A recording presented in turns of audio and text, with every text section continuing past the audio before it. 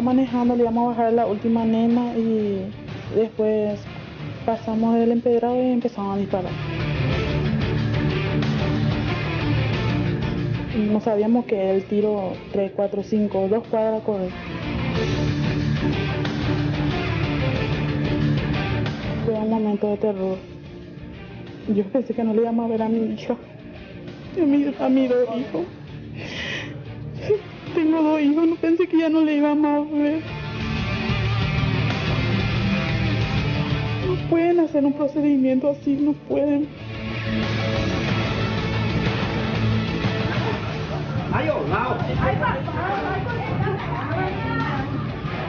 Siento que se equivocaron de objetivo. ¿Qué puedes decir? Vamos a hablar con nosotros. La intención de ustedes cuál era? Agarrar a otra persona.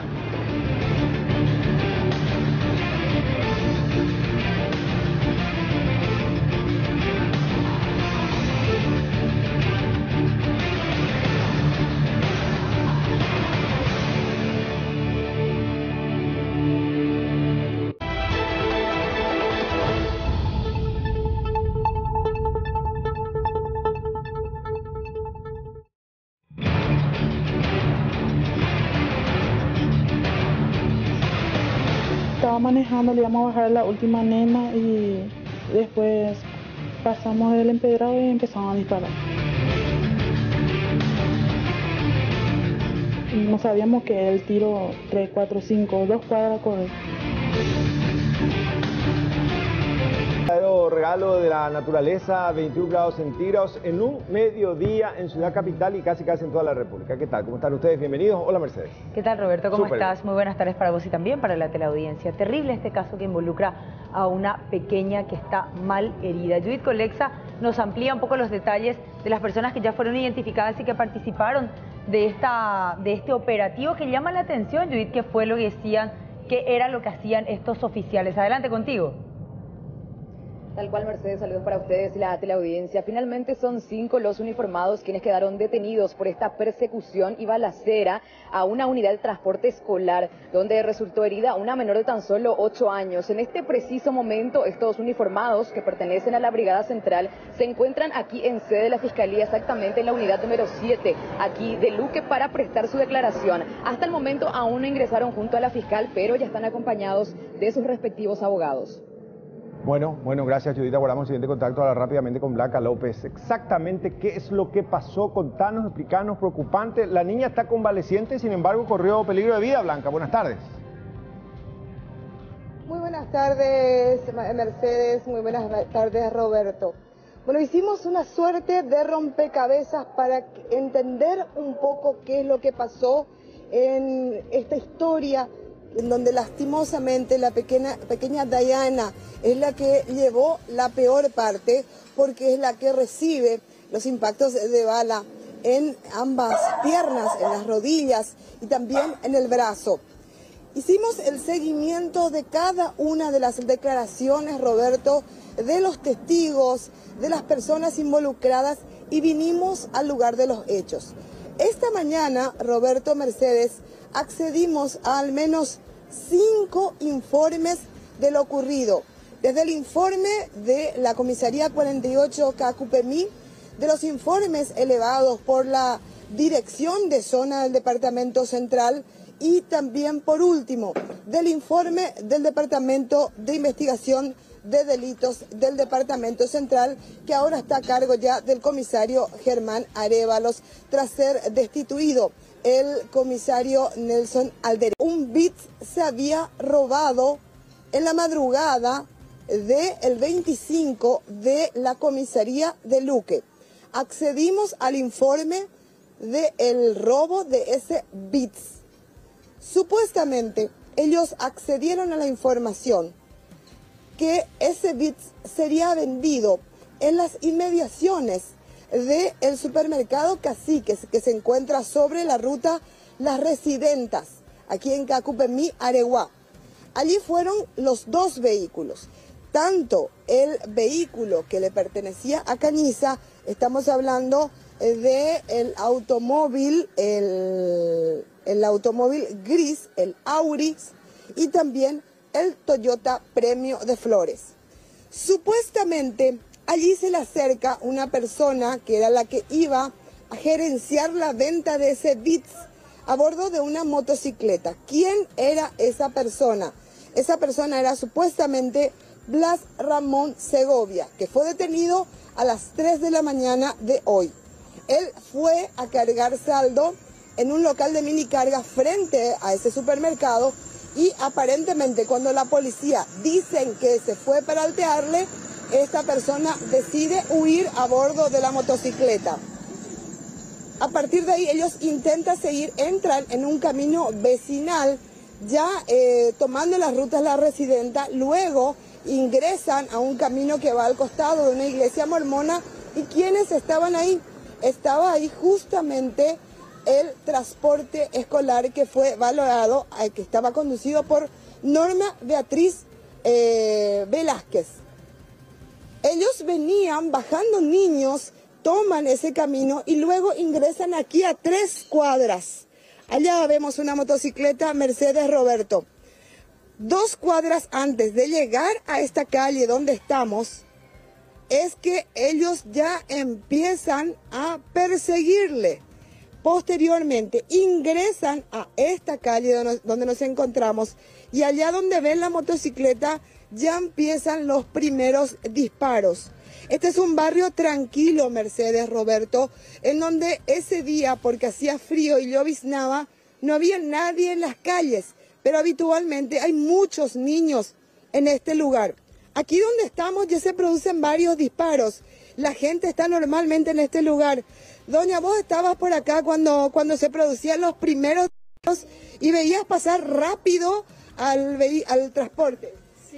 Yo estaba sentada acá con mi marido y mi hija y estábamos eh, tomando mate y escuchamos el disparo y cuando eh, el transporte público, el transporte escolar pasó, la policía, porque era policía, que nosotros pensábamos que era ladrón y, después cuando la policía eh, hizo el disparo dos veces ahí, una vez acá, y, nosotros le tiramos todo a la criatura en el, en el paro que alcanzaron aquí tu casa. Sí, ahí, ahí hubo un disparo. Por ese poste eh, ahí encontramos una, un cartucho. Había muchos disparos, ¿se escuchaba? Sí, se escuchaba mucho. ¿Y el vehículo no paraba el transporte? No, no paraba, seguía, eh, pasó y allá en la esquina se quedó. Bueno, seguimos camino. Este es, este era uno, ella es una de las testigos. Y también el, el otro testigo sería esa cámara que se encuentra allá, Roberto Mercedes, y esa cámara es la que registra eh, el momento en que se efectúan los disparos y eh, tenemos el circuito cerrado de ese lugar eh, en el momento en donde se ve a un efectivo policial dentro del vehículo de Cañiza disparando a mansalva hacia el vehículo de la, del transporte escolar donde iba Dayana y otra pequeña más. ¿Ustedes estaban acá también afuera cuando, cuando ocurren los disparos? Porque eh, solemos acostumbrar a estar así sentados acá. Y si era lindo el tiempo ya no contábamos la historia, ¿verdad? Porque, ¿Se escuchaban los disparos? Sí, desde la esquina empezábamos a escuchar y la transportista pedía socorro con la bocina, con la bocina. Tocaba bocina. Eh, sí, tocaba y ahí salimos a mirar y eh, seguían los tiroteos hasta la esquina. Y ahí lo que eh, llegó a, a la, rueda del transportista a, disparar. Bueno, vamos hasta la esquina, Mercedes Roberto, si me acompañan en lo que es este relato. Dayana, ¿dónde tenía que parar? Dayana vivía sobre esta calle o sigue viviendo sobre esta calle. Ella está en estos momentos internada en el hospital. Eh, el papá estaba esperando que llegue Dayana, como siempre lo hacen, eh, esperando en la sala con el hermanito. ¿Vos escuchaste los disparos también? Sí, justamente yo estaba en la casa de mi hermana ahí, ¿Ahí? y escuchamos varios disparos y dije yo, ¿qué es lo que está pasando? ¿Será que pasa por acá algún ladrón? Hay una persecución, le dije a mi hermana. Pero cuando salí allá, yo le he visto a mi hija, a mi hijo que iban a venir afuera y le dije, no, entren adentro, entren adentro, no salgan. Pero después escuchamos otra vez hacia allá y ahí he visto que mi hijo salió, se fue corriendo. Y dije, yo le dije a mi hermana, parece que algo pasa acá, porque Elías se fue corriendo. Entonces yo salí también a mirar, pero allá ya había miles de gente que ya estaban mirando, llorando, todo que no sabíamos a quién salvarle. Bueno, terrible, terrible. Imagínense, allí donde está la mayor cantidad de gente es donde eh, tenía que bajarse eh, Diana, como, como es habitual al venir de la escuela. Y justamente decía al papá que eh, ella siempre venía con su mamá, pero como su mamá empezó a trabajar, venía en transporte. ¿Ustedes escucharon algo? Soy la tía de la, de la nena. Sí. ¿Diana venía a qué hora más o menos? Y con su mamá solía venir a las cinco y media, solía estar acá porque venían caminando. Pero ayer justamente su mamá le envió en el transporte porque iba a operarse su mamá. Eh, entonces se le cambió su, su día de, de, operación a su mamá y ella a las cuatro y media por ahí se fue en la escuela a llevarle un abrigo a la nena. Y la nena ya iba a venir con ella y la profe dice que le dijo que viniera en su transporte nomás. O sea, que se iba a salvar si venía con su mamá. Y a eso de las cinco y media mi hermana venía y se iba acá en el portón a mirar si su hija no venía todavía. Y luego se va a entrar en la pieza.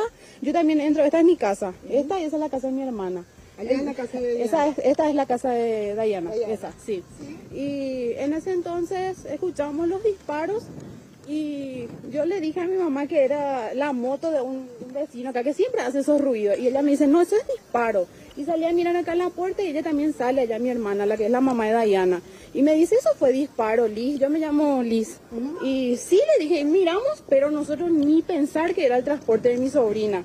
En ese entonces salimos acá en el portón y acá los vecinos ya salieron todos y uno de mis vecinos me pregunta dónde está mi sobrina y le digo que estábamos esperándole con el transporte. Y me dice, a ella es lo que se le disparó.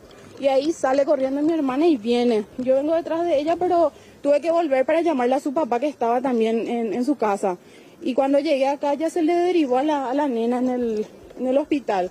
Pero fue así que pasó, pero fueron varios disparos. De seguido se disparó desde, desde allá, desde la, la entrada de la villa más o menos se empezó a escuchar los disparos. Hasta casi se... Más de 50 disparos. Y estamos llegando, Roberto Mercedes, al lugar donde los vecinos, al escuchar el tiroteo, ya salieron y nada más y nada menos se encontraron ya con la escena del momento en que para el vehículo de la conductora de Norma Beatriz Velázquez y ya los policías intentan auxiliar. Escuchemos los videos.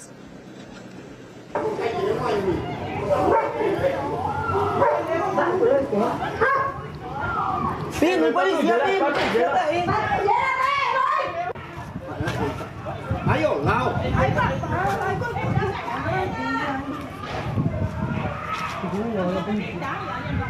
Ven, no es la policía. Papi. Manu. Cámara, coño, bebé, cámara. Manu. Manu. ¿Qué, qué, qué, qué, qué? Bỏ ra cho miệng nhập miệng ấy.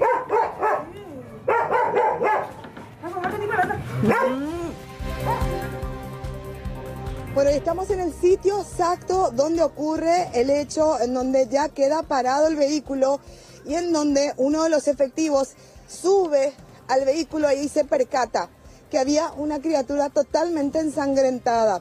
Le avisan al papá. El papá es el que viene y le saca a su hija de los brazos del uniformado porque ya la estaban sacando de la camioneta Noah. Esto decía el papá.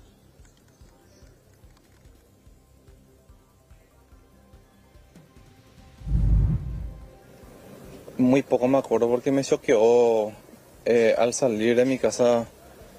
Eh, me gritaron ya que, eh, le va a levar el transporte a mi hija y cuando llego hasta el transporte ya le encontré a mi hija toda ensangrentada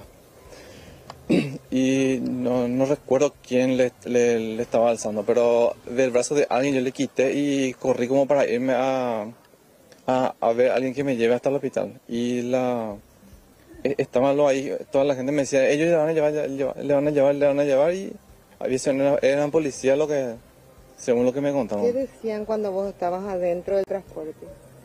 No, yo no recuerdo.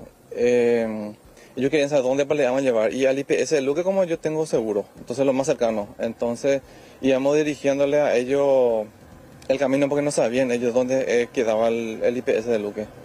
Y eh, cuando pasan en la estación de servicio ya no pueden circular. Ah, eh, Eso, eso fue muy al principio, luego el, el, el transporte escolar estaba con la rueda llantada, ¿verdad? Y no, no, no nos fuimos lo- casi a ningún lado. Después un amigo, mi cuñado, le interceptó, a- no sé si iban a correr o qué va lo que estaban haciendo, lo, que le dispararon al transporte.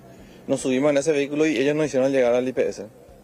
¿Qué te decía el que conducía Cañiza? No, y, solamente me decía que, eh, o sea, la dirección, y yo no recuerdo lo conversado con ellos. No, yo le tenía a mi hija en brazo y le sangraba mucho una pierna, y yo le, le- le tapaba ese para que no, no sangre tanto. Eso es lo que me acuerdo y ella me decía que le dolía y mm, más nada yo no escuchaba.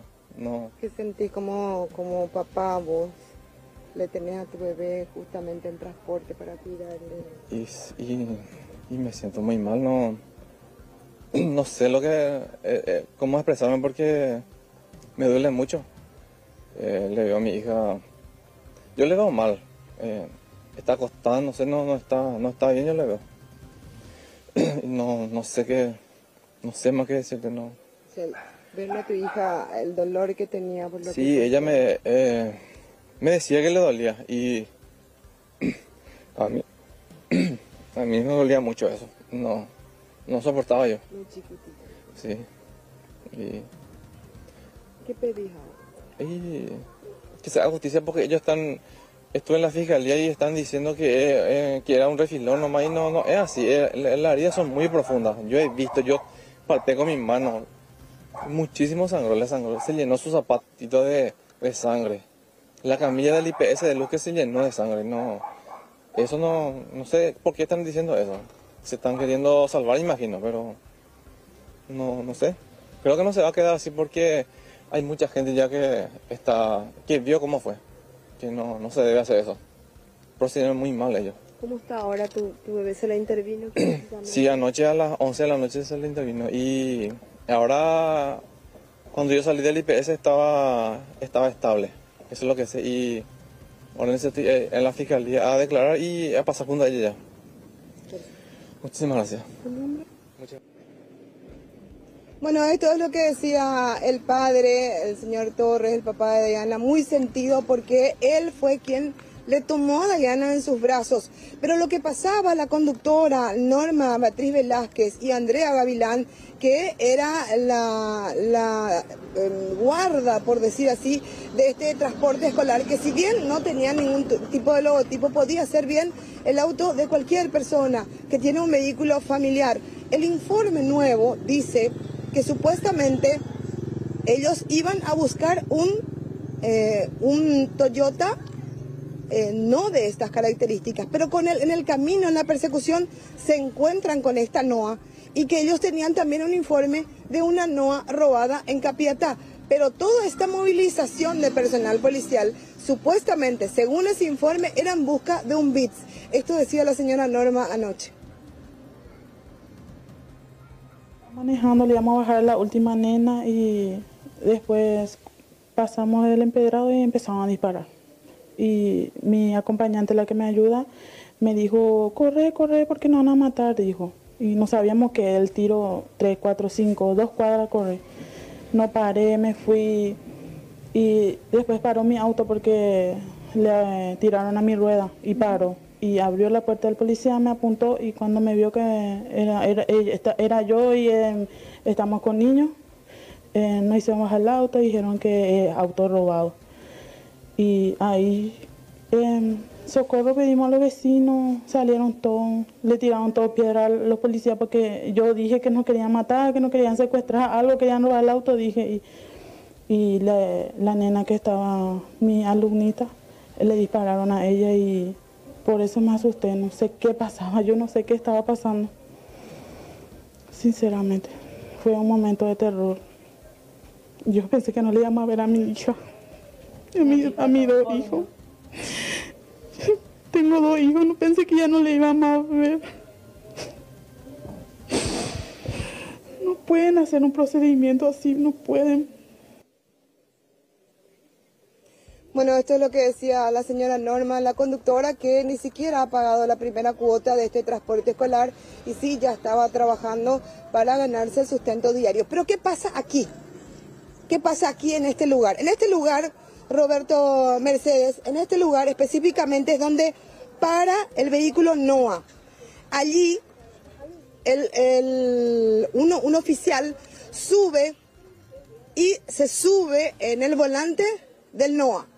Ahí deciden eh, trasladar a la pequeña, eh, alguien le baja en brazos, el papá le alza a la bebé, viene la mamá y deciden irse con el vehículo que tenía la rueda en llanta, porque ellos habían disparado contra ese, contra ese vehículo. La gente ya había salido acá en este lugar para eh, tratar de auxiliar o entender lo que pasaban. Imagínense, gracias a Dios llovía, o si no, todos estos niños iban a estar en este lugar. El papá sube y va, suben hasta la ruta, las residentas, y se van unas dos cuadras. Para ese entonces, también el vehículo eh, que pertenecía a Cañiza, estamos hablando el Auris, también intenta irse, pero un tío de esta niña le sigue. Él también sería uniformado, eh, como nadie entendía bien lo que pasaba, van cor- va corriendo hasta el lugar y ahí ya se detiene el vehículo, no, porque ya no podía circular. Entonces ahí le intima a que pare el vehículo. Ahí se identifica como uniformado la persona que conducía y ahí suben al vehículo Auris de Cañiza y se dirigen hasta el hospital de la ciudad de Luque, el IPS de la ciudad de Luque. Para ese entonces se hablaba de otro vehículo más que supuestamente también estaba afectado, pero sería también un Toyota Beats que también estaba en el medio del fuego cruzado y que era de una familia aquí de la zona. Eh, aquí quedó la conductora en estado de shock, más la otra pequeña que también tenía un refilón en la mano. Al respecto de todo esto, el propio comandante de la policía se apersonó en el Hospital Central del IPS y también dieron una conferencia de prensa donde hablaron de este procedimiento fallido. había un seguimiento, una investigación referente a un vehículo que se había robado esa noche anterior, eh, una Toyota Beat blanco, y ese vehículo iba a ser entregada a... eh, ese, se iba a comercializar, tenían, tenían ellos la, el- una persona que le estaba siguiendo de testigo, ¿verdad? De, el que le llevó a ese lugar, es supuestamente esa persona se subió en una, en una camioneta tipo furgón Toyota Noah, huyó de ellos y ese, ahí se inicia la persecución y entre cruce en el- ese tránsito vehicular se pierde de vista ellos el, la Toyota Noah, van eh, recorriendo y encuentran una camioneta de similar característica, le hacen la señal de pare, eso es lo que manifiestan los intervinientes. Entonces, Ahí le hacen la señal de pare, el vehículo, al percatarse también de esa presencia de ese vehículo, huye eh, raudamente porque pensaban que eran ladrones. Entonces ahí se inicia el disparo de, de parte de los intervinientes y bueno, las consecuencias, una menor de edad de 8 años que fue alcanzada en la parte de la rodilla, al lado derecho, ese tiene un, una- un orificio de salida hacia el lado izquierdo, también un refilón en la muñeca al lado izquierdo. Por más de que el Bueno, esto decía el comandante Roberto Mercedes, pero vamos a hablar con una vecina que estaba acá en el lugar, en el momento de la confusión, en donde los efectivos policiales abordan a la señora Norma. ¿Vos viste qué pasó ahí cuando paran todos? Sí, esa se bebe la huellero. A la mitad se va a tirar la mitad. O o no sube. tiraban la mitad. A la mi policía fuera. O guapo, o tironea. La mitad fuera, se va a beber otro, oye, gracias. Vaya hijada. Eh, eh, hace, hace, hace. Es mi policía. Ha pepe onye kama bai kwei ha otro a pe ha pe te yo we ju ko ave ha onyo mi ave la hi arma. Onyo gato pe sa ha onye. Se policía he. Eh remera me ya fuera de rojo. No, na hay rojo pe wa kwe. Eh celeste. Ha e ju pe se policía. Eh la pe te se me mu kuin ba ave. ha be ani ni nya te me te isu ha u be o ki ni de moi ha u be o i tra wa hoi Hao seguí la mi monta afuera de ojo a ver la orere no a monta. Hao boca pu un boca pu un boca pu a ver. Ja, ah, ja, o, o, o seguí sube. O o seguí sube. Porque Oguarajay puede ir al transporte escolar. Sí, Oguarajay. A la, a la chofer o ape. No, ojo pago y cae. Ojo pique, ojo, ojo pago y cae ore cope coche. Policía, o ya agarrar la volante. Oguarajay. Un poco de la cuñata y ne, eh, me digo revolver, pero yo de sube. Un poco de pa sube cuera. Ha un peyo ojo a ver orero un o de más ya la cuñata y No, no, la no cuña de caray. mayo, no de mayo. O de más ya a ver la imembu. O nos embala la conductora, la, la otra cuñada cara ahí. O nos embala embala- cuera. Ah, ojo, ja, la- la mitad. No, ah, otro lado era ha la mitad de yera hacia pues. O era hay pues. Cuando se vi otro socorro yeru de mitad me da cual se ave y go golpea ha. A la isigo ya mo ko veo ya ra ave.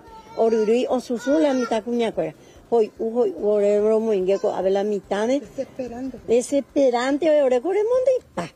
Ha se se me cuña ei que mamá ko ave que ha que un boca puta nere ha ape otro mitad kuin be be tu o uga e moyo la ha ya ra ita ha en la monta ha ha o o ya ra o ha e o esa la revolver no he ha dispara llegó jojo gala la e de sa de ya po Bien, entonces la- San bi o ya po eh esta esta a ver villa uno llevo y con la un boca pu un boca pu ay pues monta ha orero eh Ani que pese, ani que pese, a que y revolve y pobre y orello. La gente cuando este había monte ven. Esta terreno y la gente. Entonces, con, a- a- con, la, con el arma le bajó el chofer. Sí. A la señora. Eh, de jisu, bebe cuña cara y un poco de jisu. Ha, o era ha le y camino. Y güey, policía, policía. Policía y policía y la o ko abe y oño mi le y revolve. Policía se vina y la pete la una ya Bueno, Roberto Mercedes, los testimonios de los testigos de todo esto y hay una cámara de circuito cerrado que aún falta tener, acceder, que sería la cámara que podría mostrar el momento exacto en donde son alteados y esa cámara se le daría al Ministerio Público, de acuerdo a la información que tenemos. Y es la gran preocupación de la gente, ¿por qué? Porque quieren que se esclarezca esto, eh, sobre todo Mercedes, porque en el informe que elabora el Departamento de Investigación de Delitos del Departamento Central, habla de una información sobre la venta de un bits robado en Luque. Blanca. Un bits color blanco robado en Luque. Sí. O sea, independientemente a lo que intenta explicar el, el comandante, que esto se trataba de un operativo en el que estaban vestidos de civil, primero en su día libre, ahora estaban en un operativo encubierto, operativo también entre comillas. ¿Por qué hace ruido? Porque uno de estos oficiales es el mismo que estaba involucrado en el caso del comisario Peralta hace meses atrás. Entonces, son demasiados los operativos que se realizan y que últimamente salen mal y que nadie tiene conocimiento de que se van a realizar. Sin contar los que Y aparentemente... fue justamente Digo, este Mercedes Blanca, No, sin y fue- contar aquellos operativos que probablemente se vayan consumando Sí. con objetivos claros, no muy claros, pero que no trascienden. Asimismo, y justamente fue el, el- la esposa del comisario Peralta que quien se dio cuenta que el, el- vehículo de Cañiza era eh, el vehículo eh, que se usó para esta persecución y Cañiza era la persona que aparece en el circuito cerrado del supermercado, que es el que tenía el dato. Él era el que tenía el dato por el cual ellos se van a ese supermercado porque supuestamente ahí se iba a vender un vehículo. Y según lo que nos dice la señora Lourdes, es Cañiza el que estaba adentro consumiendo empanadas eh, en un local de venta de, de estas cosas y que de esa manera él es el que avisa a Cabañas el momento en que termina el atraco a la institución bancaria. Y por eso es que ella justamente rompió el silencio y dijo, ¿cómo es posible que Cañiza esté eh, realizando esta tarea atendiendo que él está investigado por el Ministerio Público por ese caso y que inclusive le habían incautado el auto y el arma también a Cañiza y él, confirmadísimo te digo Roberto Mercedes, está en la nómi- nómina del Departamento de Investigación de Delitos del Departamento Central. ¿Qué tal si escuchamos la nota con la señora Lourdes? Dale, dale, vamos a escuchar la nota y después tenemos más preguntas, Blanca, porque este caso es, es muy llamativo. Escuchamos la nota. No quisiera cuestionar tanto, pero una vez se te pone a dudar qué clase de, de, de, amigos ha de tener, ¿verdad? Por eso que tiene tanto conocimiento en informe de que cuando se va a realizar asalto o robo, que como fue el caso de mi esposo. Me llamó la atención porque hasta donde yo tenía entendido, la, la fiscalía había incautado su, su vehículo y el arma de él. Y ayer leo las noticias y él está haciendo un mismo procedimiento donde gracias a Dios las nenas no perdieron la vida con su vehículo. Eh, también de que él está sumariado por la policía. Claro, eso no implica que él no pueda trabajar, él puede trabajar, ¿verdad? Hacer todo. Que no pueden estar alegando que fue un mal procedimiento o un error, siendo que en mi caso yo perdí a mi esposo y en este caso niñas están heridas y traumatizadas de seguro, ¿verdad? Y que no, no le encuentro excusa para esto, para un eh, 50, ¿cuánto tuvo? Un 50 impacto de mala un transporte escolar, no, no hay excusa. Yo digo que no, no hay excusa de que fue un mal procedimiento. Es lo que decía preocupada la señora Lourdes por ver que se estén utilizando vehículos o que esté una persona que ha sido investigada justamente en el caso de la muerte de su esposo, un operativo fallido que hasta ahora nunca se pudo explicar eh, qué es lo que realmente ellos hacían en ese lugar y quién había sido comunicado de este procedimiento. Lo mismo ocurre ahora eh, la gran pregunta es, ¿quién sabía de este procedimiento? El Ministerio Público sabía de que ellos iban a encontrarse con una persona que ofrecía a través de una página de internet la venta de este Toyota Bits. ¿Y con qué arma él estaba realizando este operativo? Porque si le fue retirada su arma, evidentemente, esta no es un arma reglamentaria, no está registrada por la policía. ¿Cómo se investiga un caso como este? Y, hay que ver también, la fiscalía tiene que responder eso, si a él le entregaron su arma mm. y su vehículo también. Él, a él se le incautó un arma Jericho 441F. Y de hecho, Mercedes, solamente a dos personas se le incautan arma. Al oficial Néstor Gerardo Vázquez, una Versa TPR 9 milímetros. Y al suboficial segundo Jorge Manuel Cañiza, eh, es a quienes se le incauta armas, porque en el informe no dice si es que el suboficial mayor Marcial Flores Gauto tenía un arma o si Cristian Basilio Lianes tenía arma ni Mario Fariña. A los únicos que se le incauta armas es a Néstor Gerardo Vázquez y a Jorge Manuel Cañiza. Tenemos la nota con Vázquez. El sumario que se le realiza al personal es justamente buscar qué grado de responsabilidad tuvo en ese caso, eh, cuál fue su actuación y eso recomendar a la, si están a cargo del Ministerio Público también, y si es que amerita eh, una sanción disciplinaria, eso se determina ahí con la Fiscalía ya y con la justicia ordinaria. Eh, nosotros no teníamos ni una prohibición de que él siga trabajando y opere con ese vehículo también que también se utilizó en el caso del homicidio del comisario Peralta y seguramente la fiscalía le habrá entregado nuevamente ese vehículo porque eh, si es que la fiscalía determinó que ese vehículo se incaute y quede a disposición la fiscalía, no se lo iba a entregar. Bueno, de hecho que Elida Favole ya se puso también en contacto con la producción Mercedes Roberto y le dijo que se le había entregado el vehículo y que él estaba en estos momentos en libertad y podía eh, trabajar y operar tranquilamente dentro de lo que significa la causa eh, de la investigación eh, del homicidio de Peralta. Y quizás por eso él figuraba en la nómina del Departamento de Investigación de Delitos del Departamento Central.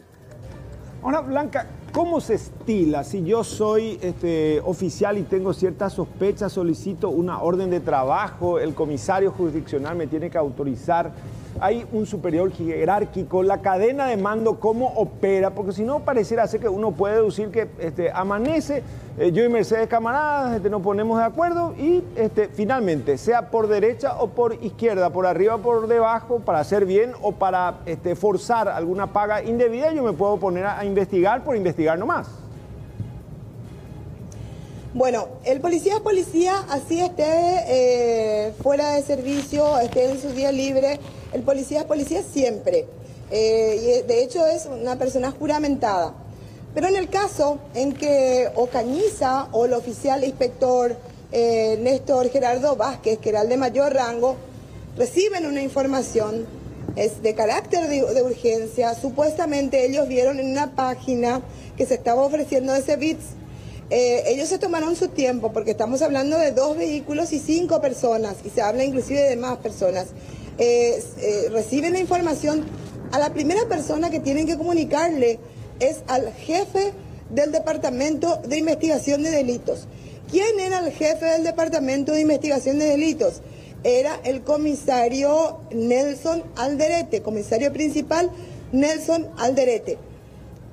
Esa persona, el comisario principal Nelson Alderete, tiene que decirle a su ayudante, Rojo, o a, quien sea que estaba de guardia como ayudante, hay que, eh, quién es la fiscal de turno o el fiscal de turno se le comunica al fiscal del turno que se va a hacer un, trabajo de inteligencia, que se tiene tal información y que iban a verificar.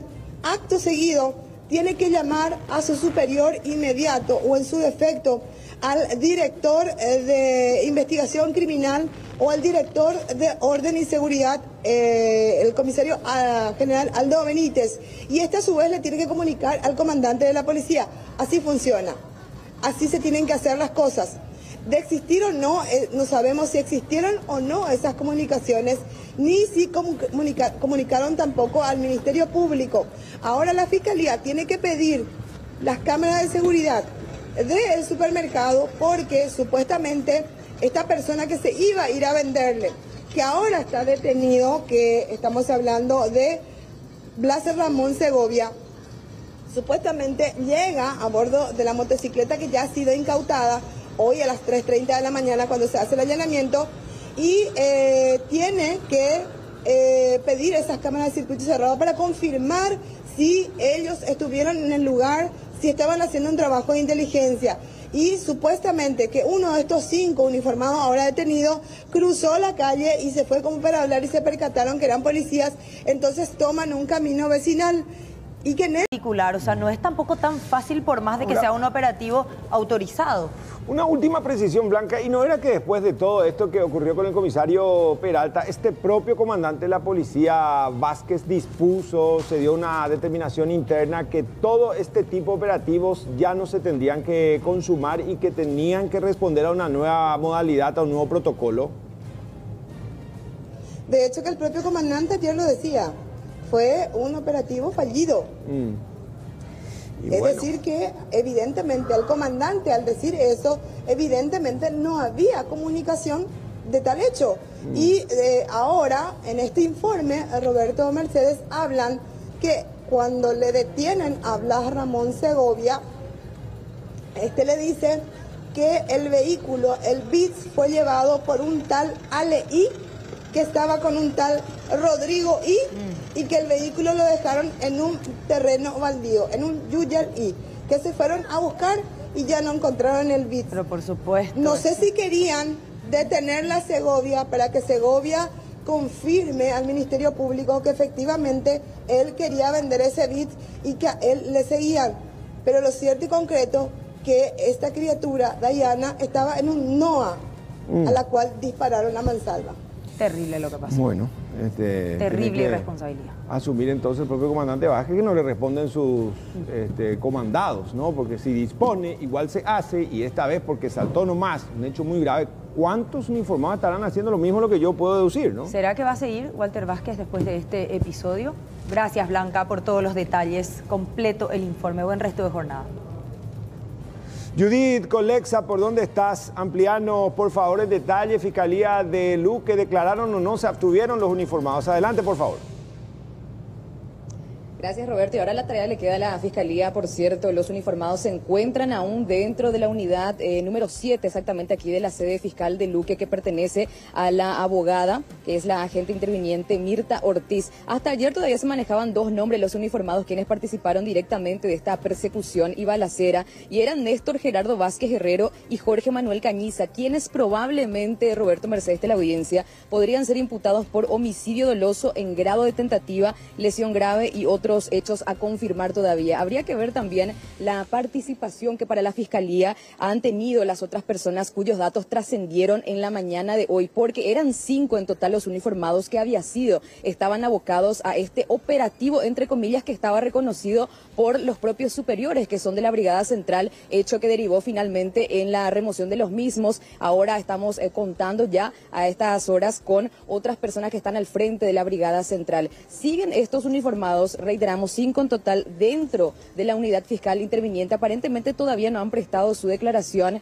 Queremos saber si es que se van a abstener o no. Sin embargo, ya nos habían eh, anticipado sus abogados que probablemente dos de ellos sí se van a abstener, mientras que los otros aparentemente van a prestar su declaración indagatoria correspondiente. Estos cinco se encontraban en carácter de depositado en la comisaría tercera de Luque. Nuestro equipo periodístico estuvo allí para acompañar el momento en que eran traídos aquí hasta la sede de la fiscalía y, por supuesto, intentar dialogar con ellos. Este fue el momento.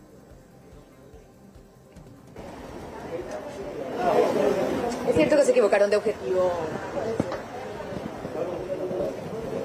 Es cierto que se equivocaron de objetivo. ¿Qué puedes decir? ¿Puedes hablar con nosotros? De ustedes cuál era? Agarrarle a otra persona. Se equivocaron de objetivo, oficial. Ay, perdón, perdón, perdón, perdón, perdón, perdón, de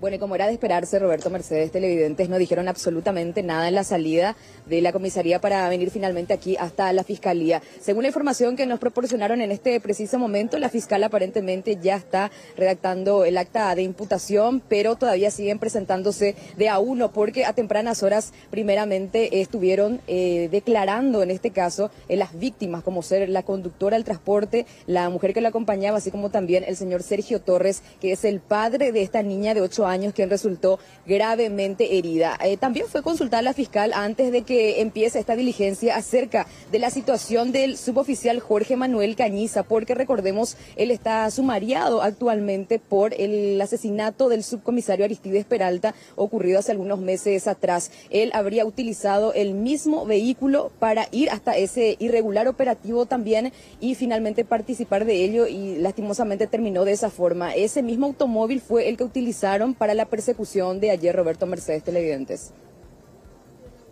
Eso es lo que estamos pensando. Sí.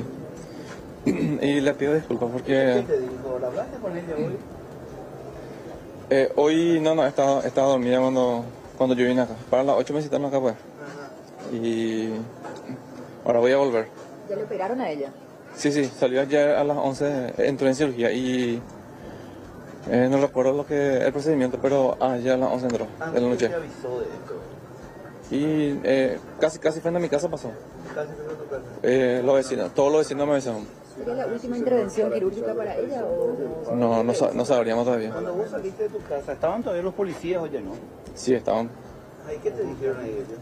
No, no, no recuerdo. Yo le vi a mi hija ensangrentada y lo único que pensé es llevarla al, al hospital. ¿Quiénes le socorrieron finalmente? Y yo tengo entendido que los mismos que le dispararon lo que... Los mismos metió la policía. Sí. ¿Y vos te subiste con ellos? Sí, con ellos me subí, sí. Yo le sembrazo a mi hija y le llevé. ¿Conversaste con estos policías? vos? No, no, no, no, señor. En todo el No. camino Eh, en todo el camino, lo único que le di es la instrucción del IPS de Luque.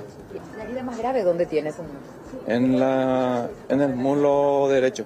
Se le impactó de lleno. Eh, no, Son no. todas de refilón, según te No, no, no, no. Son, todas son muy profundas. Sí. ¿Cuántos impactos de bala tenía ella? Tres tiene. Porque la policía están diciendo que fueron refilones nada más, señor. O sea, no, No, es no, mentira. no, eh, eso es mentira, totalmente, no, no.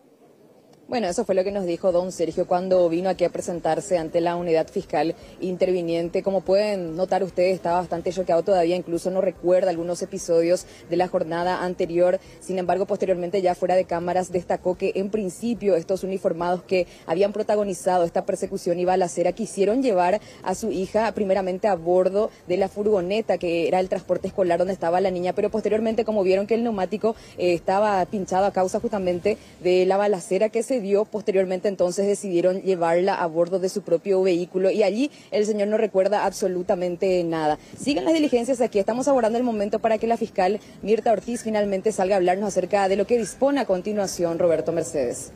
Dale, dale, gracias Judith. Este, una acotación, Mercedes, ¿por qué no están esposados? no? Así mismo. Cuando otros son detenidos, rápidamente son esposados y trasladados de esa manera a cualquier diligencia que tienen Porque que realizar. eh, Pero estos la salen con la mano en que el saliendo de un estadio, mirá, Sí. este, mano en los bolsillos, este, uno con su capucha. Al final, como cualquier otro sospechado, en este caso están casi imputados, tienen que llevar las esposas, ¿no?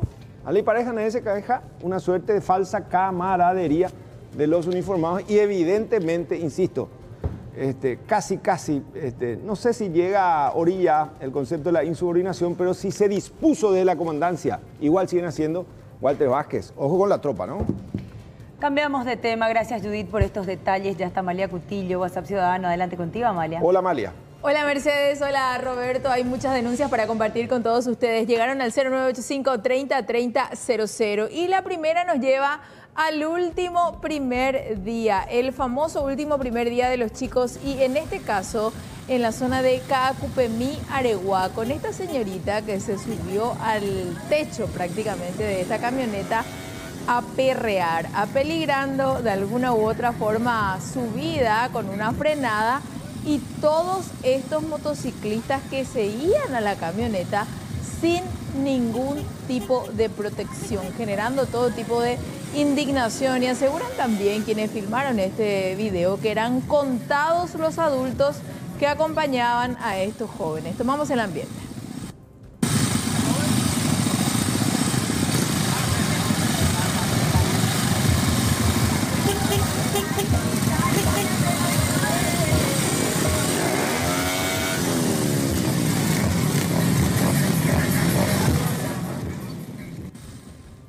Seguimos con más videos. Eh, generalmente el paraguayo cuando hay un cambio de clima, como estos últimos días que tuvimos mucho calor y baja un poquito la temperatura, ya se quiere abrigar. Y en este caso, este señor asegura que él tenía mucho frío anoche con una temperatura de 19 grados. Entonces, ¿qué fue lo que hizo? Prendió una fogata en su casa sin dimensionar el depósito de plásticos que tenía en el lugar. Lo cierto es que ardió por completo en llamas. Afortunadamente no hubo heridos, pero estamos hablando de una pérdida de cerca de 20 millones de guaraníes.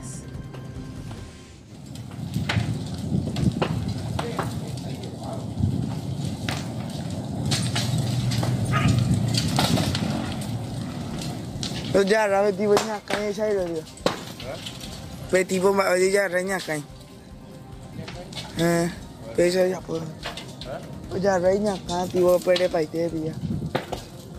nada.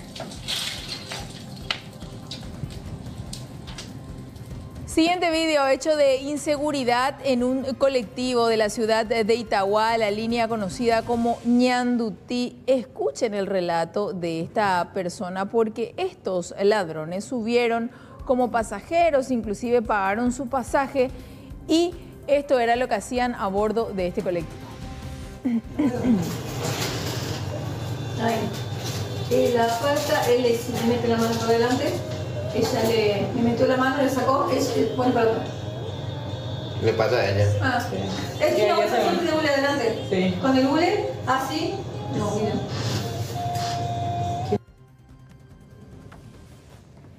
Siguiente denuncia que nos llega desde una farmacia en San Lorenzo. Buscan identificar a esta mujer que primero ella se probó dos perfumes bastante costosos. Inclusive miró, por supuesto, los precios. De tanto que le gustó, ella decidió meter directamente a su cartera y salió sin pagarlos. Aseguran que ya estuvo recorriendo otros comercios y esperan que con estas imágenes se la pueda identificar.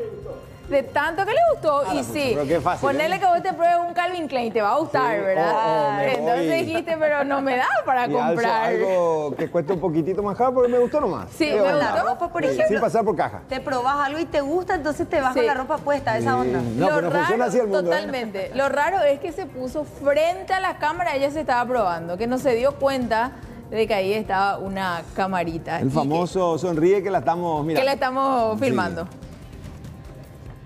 Último video. Esto nos llega todos los días y Roberto y Mercedes y ustedes, por supuesto, los televidentes, son testigos. Transformadores obsoletos de la ANDE, que por supuesto con las altas temperaturas, todo el mundo prende su aire acondicionado, obviamente no van a pasar calor y estas son las consecuencias.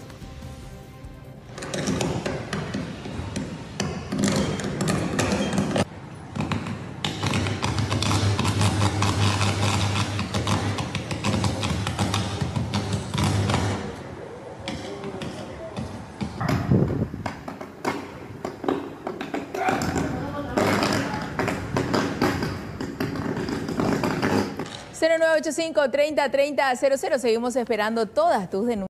Rápidamente saludamos a Leila Jiménez, nuestra compañera está en tribunales, alegatos finales, un juicio que sin duda genera mucha atención mediática. Adelante, por favor. Buenas tardes.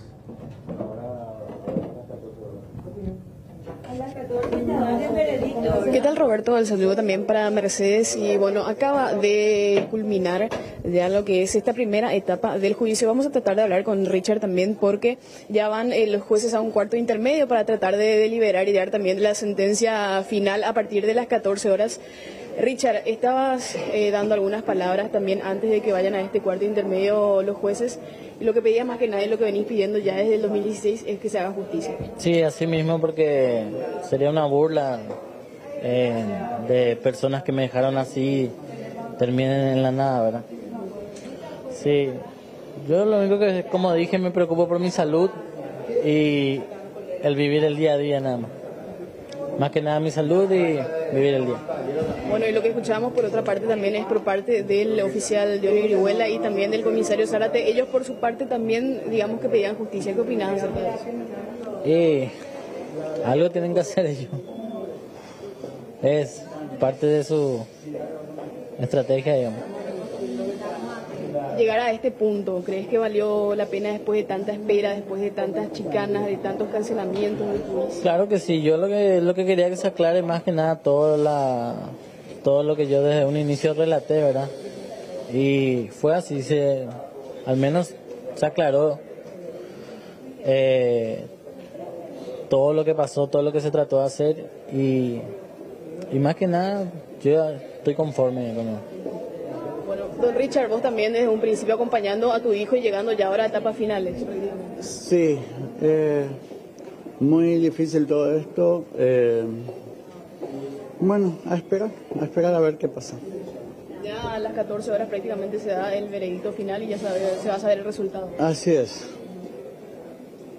Gracias, don Richard. Luego de tanta espera, también finalmente a las 14 horas se va a retomar lo que es ya el juicio y se va a dar finalmente eh, la sentencia a Roberto Mercedes, lo que tanto espera también la familia Pereira. Ya estaban, eh, digamos, agregando nada más que algunas eh, palabras también por su parte de Richard. Eh, en contraparte también el eh, suboficial Johnny Irihuela, también el comisario Jorge Zárate pidiendo eh, ambas partes justicia y, y, bueno, en este caso lo que piden también, lo que pide también la querella es una sentencia de 26 años de prisión para ambas personas en este caso. Reiteramos a las 14 horas se retoma el juicio oral ya para dar el veredicto final. Dale, dale Leila, estaremos muy atentos. De hecho, también decía la víctima, para mí es tan trascendente ahora el día a día. Este, Imagínate quedó en silla de ruedas postrado, pero la justicia tiene que hacer su trabajo y se aguarda una condena ejemplificadora para los dos uniformados, un comisario y un suboficial, Orihuela. Exactamente. Vamos a seguir informando sobre estos casos de gatillo fácil, entre comillas, y hacemos la consulta justamente a la ciudadanía, porque podés ingresar a votaparaguay.com y encontrar esta primera pregunta. ¿Cómo calificás el procedimiento donde recibió balazos una niña de Areguá? El caso que recién ampliábamos con Blanca López. ¿Es un error criminal o es un error de procedimiento? Debatimos justamente este tema en relación a los casos que fueron frecuentes y que hasta involucran al mismo oficial en los últimos meses. ¿Cómo calificás el procedimiento donde recibió balazos una niña de Aregua? ¿Error criminal o error de procedimiento?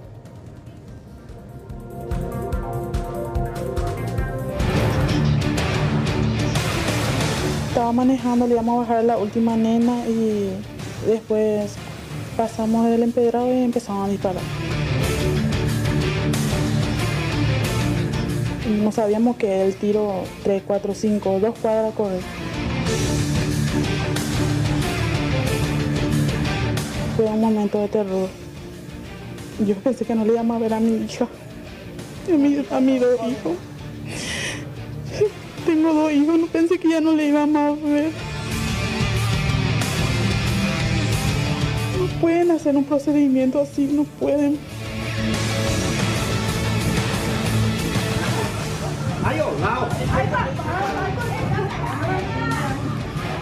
Siento que se equivocaron de objetivo. ¿Qué puedes decir? A hablar con nosotros. La ustedes cuál era? Agarrarle a otra persona.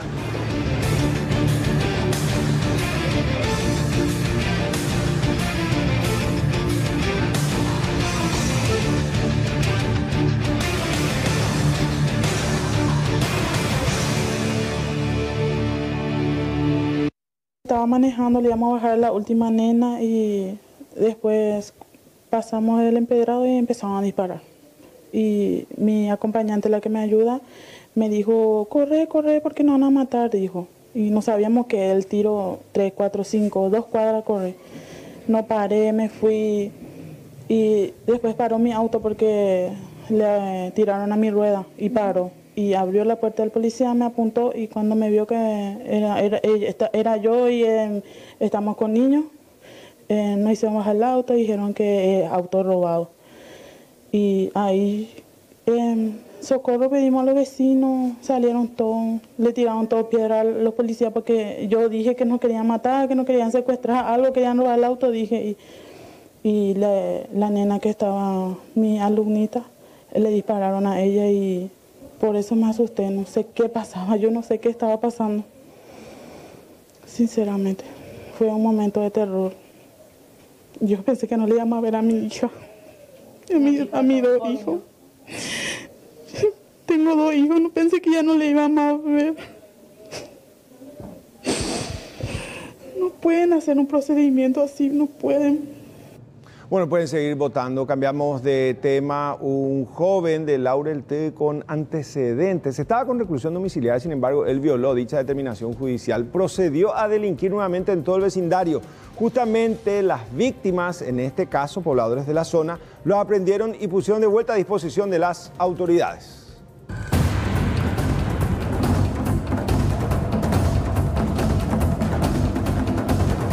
Bonifacio Rodríguez es harto conocido por sus andanzas en zona de Laureltí. Los policías ya están cansados de sus tropelías y lo manifestaron esta madrugada. El joven adicto días pasados fue detenido y le dieron prisión domiciliaria en tanto espera su audiencia. Igual anoche nuevamente salió a asaltar y fue detenido por sus propias víctimas. El 17 de este mes nosotros le pusimos a disposición del juez por transgredirlo su prisión domiciliaria y el juez fundamentó para liberarle nuevamente, o sea, que, que siga con su prisión domiciliaria, ya que no cometió otro hecho. Jacó a la niña de resultados, ahora cometió ya otro hecho. Otro hecho. Ah. ¿Qué fue lo que cometió? Y eh, cometió un hurto, hurto porque no hubo arma de por medio, le tironeó su cartera manifestándole que tenía un cuchillo que le iba a aclarar si no le entregaba su aparato celular. La madre de la víctima relató los momentos vividos agradeciendo al joven motociclista que auxilió a su hija y afirmó que ella misma detuvo al delincuente. Eh, Mi hija fue la que le asaltaron y estaba viniendo ella y dice que se cruzó ya con el muchacho y eh, después ella se dio la vuelta a, a mirarle si no le seguía y no, no le siguió. Y después, viniendo como cinco cuadras por ahí, de la nada aparece otra vez el muchachito, el muchacho ese. Y eh, ahí se acercó a ella y le pidió su celular. Y le dijo ella que le iba a dar su celular, que no hay problema, que, que su documento quería todo. Otra vez que le, le a dar su celular sin ningún problema. Y eh, igual el muchacho estiró y le, le llevó, le- le llevó la mochila. El detenido, Bonifacio Rodríguez, cuenta con arresto domiciliario debido a otros hechos similares cometidos. Varias familias de Encarnación están apostadas en la zona de afectación. Justamente la entidad binacional Yacyretá las había propuesto una salida a sus problemas, sin embargo hasta ahora no cumplieron las promesas.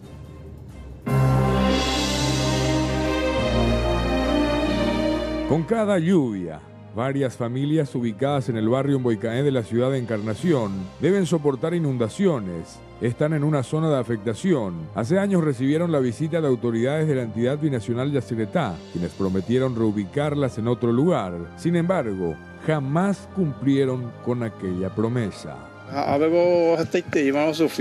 Más la inundación a la entidad nacional ya se le estaban pendientes, yo para hacer la ecuación es para el problema, ¿sí? porque y ya tú te digo, a veces lo digo, a mejor he sido casi 90 años a los oficios de silla árica todavía ya o, o sostener que hacer todo el día quebrando yo o mando matamos a decir, cuando pendáis por ejemplo. La situación cada vez se vuelve más insostenible. Incluso entre los afectados están niños y abuelos. Ellos claman a la EBI un poco de compasión. La verdad, Y nosotros encarecidamente pedimos a la autoridad de la entidad binacional Yacyretá para que eh, tome un poco la carta en el asunto y para que pueda haber la solución más rápida, ¿verdad? Porque, como te dije, ¿verdad? Eh, justamente ma- mi, nuestra mamá, ¿verdad? Cumple mañana 87 años. La entidad binacional Yacyretá está en deuda con estas humildes familias del barrio Boicaé de la ciudad de Encarnación.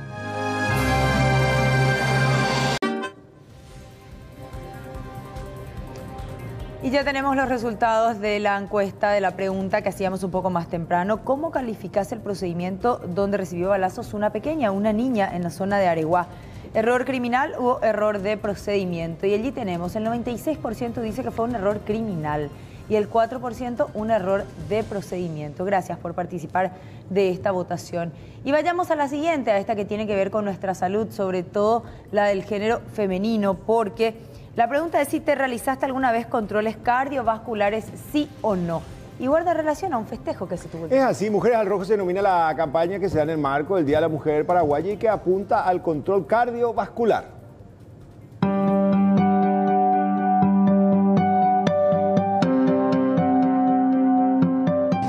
Del Día de la Mujer Paraguaya, el Hospital de Clínicas y la Sociedad Paraguaya de Cardiología organizan la campaña Mujeres al Rojo, cuyo objetivo es cuidar el corazón de todas las paraguayas. Y la mejor manera de agasajar a la mujer paraguaya es cuidando su corazón.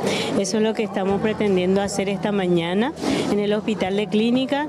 Estamos evaluando a la mujer en cuanto a sus factores de riesgo. Estoy bastante bien porque no tengo nada, lo que me preguntaron no tengo, gracias a Dios. Mm. claro de que hay que hacerse los controles regularmente. Sí, sí, sí, sí. Es que me suelo cuidar porque es muy importante cuidarse para ser útil a una misma y también a la sociedad, ¿verdad? Entonces trato de cuidarme. Nosotros estamos trabajando para que todos sepan que es muy importante cuidar nuestro corazón. Y así como, eh, como dice el eslogan Mujeres en Rojo, ustedes están de rojo. Estamos todos de rojo. Tenemos bastantes pacientes, tenemos buenos médicos y le invitamos también a las mujeres como a, a cuidarse, ¿verdad? Una de cada tres mujeres fallecen al año debido a afecciones cardíacas.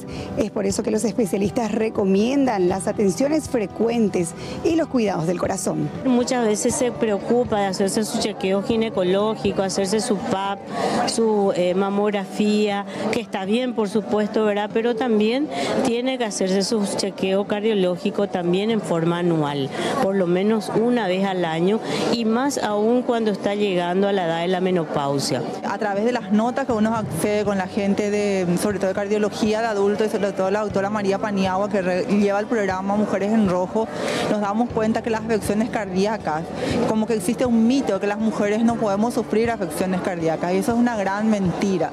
Tenemos todos los mismos factores de riesgos y más que los varones. Entonces en mi caso que, bueno, eh, yo sufro de una pequeña hipertensión que está controlada, también ese es uno de los factores de riesgo y por lo cual siempre también trato de concurrir a estos eventos porque te dan todo, te hacen un control completo. La campaña Mujeres al Rojo continúa mañana en el Hospital San Jorge y el jueves en el Hospital Nacional de Itagua.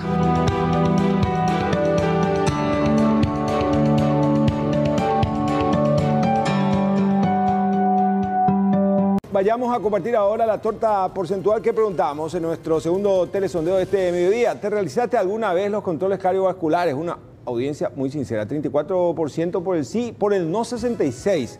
Hay que cambiar esos números, ¿no? Arrancamos el año, control así que- y por sobre todo la medicina preventiva puede marcar un antes y un después a la hora sencillamente de vivir o de morirse. Así nomás, ¿eh? Poco más de 25 grados compartimos a estas horas. Que tengan un buen resto de jornada. Hasta mañana. Sigan en sintonía del poderoso Sistema Nacional de Televisión. Muchas gracias y buena suerte.